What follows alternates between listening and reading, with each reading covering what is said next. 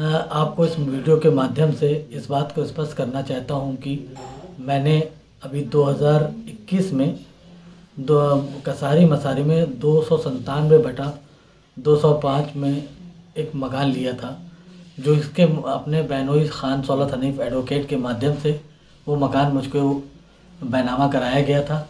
इसके बाद कुछ समय के बाद ख़ान सौलत हनीफ ने मेरा ही मकान शाइस्ता परवीन को किराए पे देने के लिए मुझसे कहा। तो जिसके कारण मैंने उनसे कुछ नहीं कहा उन्होंने कहा कि इस पर तुमको भी किराया मिलता रहेगा बीस हज़ार रुपये और वो थोड़ा बहुत मेंटेन करा लेंगी, जो किराए में अपना वो बराबर कर लेंगी। अगर किसी को किराए पे देना अपराध है तो मुझे नहीं लगता कि बहुत से ऐसे मकान होंगे जो अपरा किराए पे ही उठते हैं, और उस बात की मुझको कोई जानकारी भी नहीं, ना ही मैं इलाहाबाद जाता आता हूँ। कभी कभार महीने में एक बार गया, अपने बहन के घर तक गया, वापस आ गया। हालाँकि वो मकान सिर्फ़, जब से मैंने लिया है, सिर्फ़ जिस दिन बैनामा हुआ था, उस दिन हम थोड़ी देर के लिए उस मकान के बाहर ज़रूर गए थे।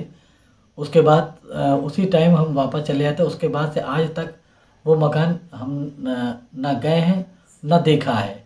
अगर मेरी छवि के बारे में जिस तरह से उड़ाया जा रहा है, जिस तरह से कहा जा रहा है, एक बार बांदा का प्रशासन, पुलिस प्रशासन से मैं अपील करता हूँ, मेरा एल आई जाँच करा ले और जिस साल से पत्रकारिता मैं कर रहा हूँ, आज तक अगर मेरे ऊपर कोई आरोप लगा हो तो उसे कहा जाए।